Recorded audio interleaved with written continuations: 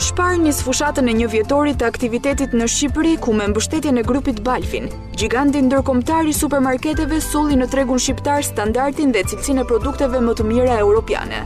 Gjatë këtij viti Spar ka ofruar zgjedhje të larmishme, produkte unike me origjinë gjermane, italiane dhe austriake, siguri në produktet ushqimore, super oferta dhe me skema shpërblyese. Në një vit, Spar zgjeroi prezencën në nëntë qytete në Shqipëri, Tiranë, Durrës, Elbasan, Vlorë, Pogradec, Sarandë, Gjirokastër, Shkodër, Lezhë, me formatet e katër hipermarketeve dhe 26 marketeve Spar.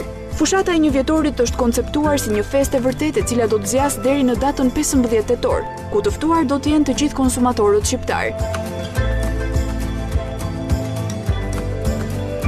Janë përzgjedhur qindra produkte nga më të preferuarat e klientëve, për t'i ofruar me çmimin më të mirë të vitit. Do të ketë aktivitete, degustime produktesh vendase dhe të huaja, lojëra argëtuese për fëmijë dhe shumë dhurata. Në këtë njëvjetor të gjithë klientët e Spar Albania kanë mundësinë të bëhen pjesë e shorteut më të madh. Bli në Spar, fito një apartament. Apartamenti është në Tiranë, në një nga rezidencat më të mira Tower Bridge 3 nga Orion Construction.